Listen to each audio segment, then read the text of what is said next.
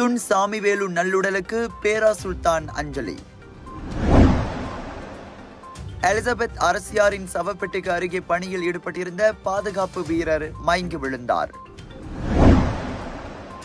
Sun Sentosa குண்டர் கும்பல் தலைவன் கைது. விளையாட்டுத் துறையிலிருந்து ஓய்வு பெறுகிறார் டென்னிஸ் ஜம்பவான் ரோஜர் ஃபெடரர். நாயை விழுங்கிய நூற்று எண்பது கிலோகிராம் மலை பாம்பு பிடிபட்டது.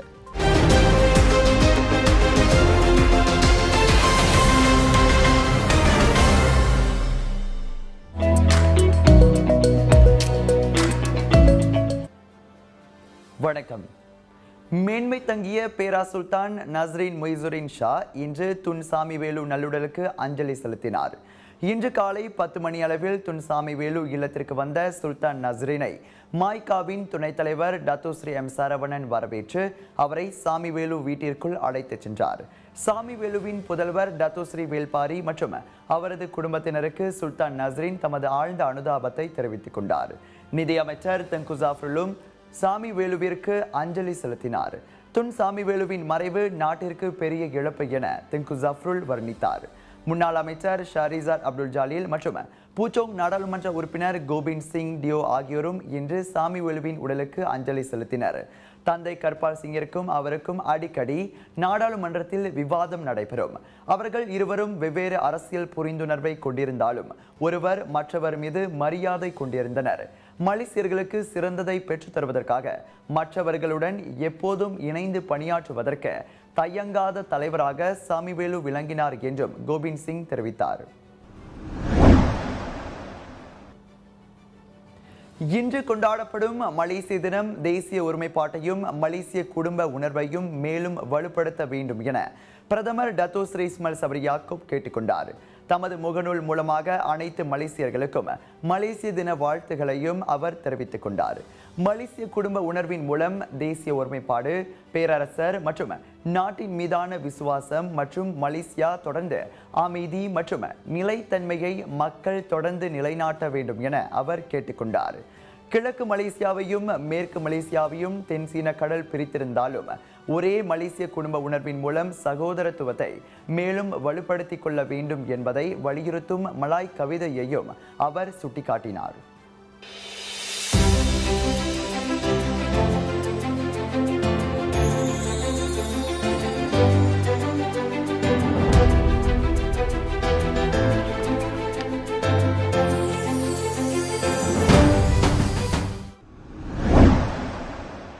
பேரா தஞ்சோங் மாலிம் புரோட்டோன் சிட்டி நீர் சுத்திகரிப்பு ஆலையில் நாய் ஒன்றை விழுங்கியதாக நம்பப்படும் மலைப்பாம்பு பிடிப்பட்டது நூற்று எண்பது கிலோகிராம் எடையிலான அந்த மலைப்பாம்பை மலேசிய பொது தற்காப்பு படை உறுப்பினர்கள் பிடித்தனர். அந்த பாம்பு குறித்து நேற்றிரவு மணி எட்டு பதினாறு வாக்கில் அவசர அழைப்பு கிடைத்ததாக முவாலி மாவட்ட பொது தற்காப்பு படை தலைவர் ஷாரிசால் ஹுசீன் தெரிவித்தார். அதனைத் தொடர்ந்து சம்பவ இடத்திற்கு விரைந்த பொது தற்காப்பு படை உறுப்பினர்கள் அந்த மலை பாம்பை பிடித்ததாக அவர் சொன்னார். சம்பந்தப்பட்ட மலை பாம்பு நாய் ஒன்று விழுங்கியதை கண்டதாக நீர் சுத்திகரிப்பு ஆலை பாதுகாவலர் ஒருவர் தெரிவித்தார். அதன் பின்னர் அங்கேயே பதுங்கியிருந்த அந்த மலைப்பாம்பை முதலில் தற்காப்பு படை உறுப்பினர்கள் தேடி அடையாளம் கண்டனர். உண்ட கலைப்பில் இருந்த அந்த ஐந்து மீட்டருக்கும் நீளமான பாம்பை பிடிக்க முப்பது நிமிடம் பிடித்தது. முவாலிம் தற்காப்பு படை அலுவலகத்திற்கு கொண்டு செல்லப்பட்ட அந்த பாம்பு பின்னர் வனவிலங்கு பாதுகாப்பு துறையிடம் ஒப்படைக்கப்பட்டு சுங்கை வனவிலங்கு பூங்காவிற்கு கொண்டு செல்லப்படும் என தெரிவிக்கப்பட்டது. வேலை வாங்கி தருவதாக கூறிய மோசடி கும்பலினால் ஏமாற்றப்பட்ட மேலும் பதினோரு மலேசியர்கள் கம்போடியாவிலிருந்து நாடு திரும்பினர். நேற்று நள்ளிரவுக்கு முன் அவர்கள் கேஎல்ஐஏ இரண்டு விமான நிலையம் வந்தடைந்ததாக வெளியுறவு அமைச்சு வெளியிட்ட அறிக்கையில் தெரிவித்தது. அந்த மோசடி கும்பலினால் பாதிக்கப்பட்ட நூற்று ஐம்பத்து மூன்று பேரில் நூற்று இருபத்து மூன்று பேர் மீட்கப்பட்டனர். அதோடு மோசடி கும்பலால் பிணையாக பிடித்து வைக்கப்பட்டிருந்தவர்களின் இடத்தை கண்டுபிடித்து அவர்களை மீட்பதில் கம்போடிய அரசாங்கம் வழங்கிய ஒத்துழைப்புக்கும் வெளியுறவு அமைச்சு நன்றியை தெரிவித்துக் கொண்டது. எஞ்சிய மலேசியர்களும் பாதுகாப்புடன் நாடு திரும்புவதற்கு கம்போடிய அரசாங்கத்துடன் தொடர்ந்து ஒத்துழைப்பு நல்கப்படும் என்றும் வெளியுறவு அமைச்சு தெரிவித்தது. சான் சந்தோசா தலைவன் உட்பட இரு ஆடவர்களை புக்கேடமான் குற்றப்புலனாய்வுத்துறை அதிகாரிகள் கைது செய்தனர். அவ்விருவரும் மிரட்டி பணம் பறிப்பது கொள்ளை சட்டவிரோத பிட்காயின் மையங்களை பராமரிப்பது வாகனங்கள் திருட்டு வீடு புகுந்து கொள்ளையிடுவது போன்ற நடவடிக்கைகளில் ஈடுபட்டு வந்தவர்கள். போட்லேங் ஜாலான் ராஜா முசா நான்கு சக்கர வாகனம் ஒன்றில் ஏற முற்பட்ட போது அவர்கள் கைது செய்யப்பட்டதாக மலேசிய போலீஸ் படை செயலாளர் டத்தோ நோர்சியா முகமது சாடுடின் தெரிவித்தார். சோதனையின் போது அவர்களிடமிருந்து ரிவால்வர் வகை துப்பாக்கி ஒன்றும் பறிமுதல் செய்யப்பட்டது. நான்கு சக்கர வாகனத்தின் ஓட்டுநர் இருக்கையின் கீழ் அந்த துப்பாக்கி பதுக்கி வைக்கப்பட்டிருந்ததாக நூர்சியா சொன்னார். அச்சம்பவம் தொடர்பில் வீடொன்றில் மேற்கொள்ளப்பட்ட மற்றொரு சோதனையில் தோட்டா ஒன்று கண்டெடுக்கப்பட்டது. கைது செய்யப்பட்ட சன் சந்தோசா கும்பலின் தலைவனுக்கு எதிராக சுடும் ஆயுதங்களை பயன்படுத்தியது. வாகன திருட்டு ஆகியவை தொடர்பில் பதினோரு பழைய குற்றப்பதிவுகள் இருப்பது விசாரணையில் தெரிய வந்துள்ளது அதே சமயம் ஏப்ரல் பதினேழாம் தேதி பத்தாலிங் ஜயாவில் நிகழ்ந்த சுடும் ஆயுதம் தொடர்பான சம்பவம் ஒன்றிலும் அவன் தேடப்பட்டு வந்தவன் ஆவான். அவ்விருவரையும் கைது செய்ததை அடுத்து சுடும் ஆயுத நடவடிக்கைகள் தொடர்பில் தேடப்பட்டு வரும் சன் சந்தோசா கும்பலைச் சேர்ந்த அறுவர் இதுவரை போலீசாரிடம் சிக்கியுள்ளனர். பேரா லுமூட்டில் கார் கடலில் மூழ்காமல் தடுக்க முயன்ற ஆடவர் ஒருவர் உயிரிழந்தார். சம்பந்தப்பட்ட காரின் அடியில் சிக்கியதால் நீரில் மூழ்கி அவர் உயிரிழந்தார். உயிரிழந்தவர் முப்பத்தோரு வயது முகமது ஹபீஸ் ரம்லி என அடையாளம் காணப்பட்டுள்ளார். அச்சம்பவம் நேற்றிரவு மணி பதினோரு முப்பது வாக்கில் நிகழ்ந்தது. பதினோரு முப்பத்தி நான்கு வாக்கில் அவசர அழைப்பு கிடைத்ததும் பந்தாய் ரமீஸ் தீயணைப்பு மீட்பு படை உறுப்பினர்கள் சம்பவ இடத்திற்கு விரைந்தனர்.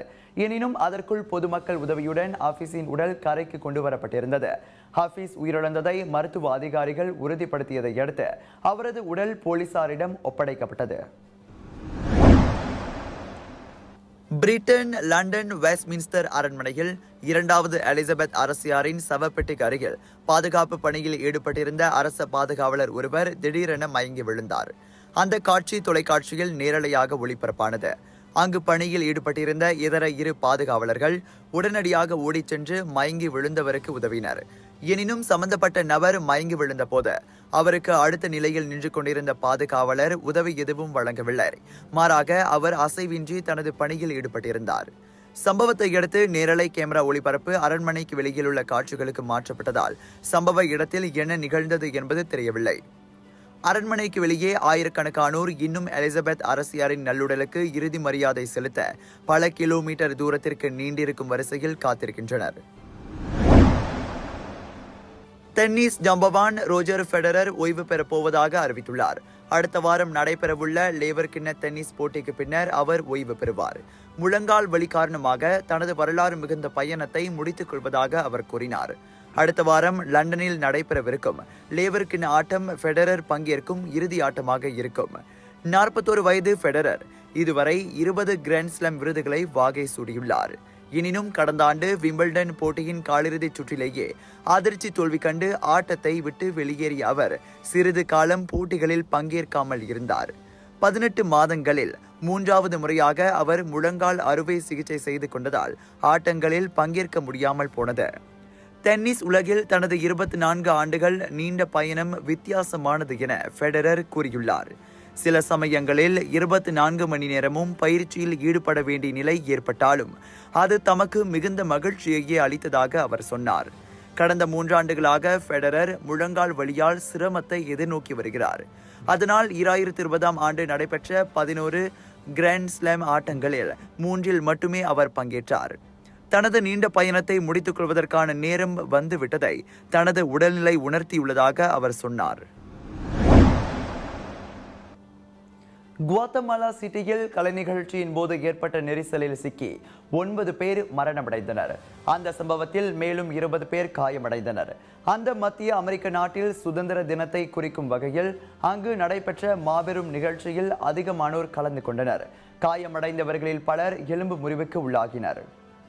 மேலும் பல அண்மைய செய்திகளுக்கு வணக்கம் மலேசியாவோடு இணைந்திருங்கள். எங்கும் எப்போதும் வணக்கம் மலேசியா. நான் கிஷேந்திரன் முனியாண்டி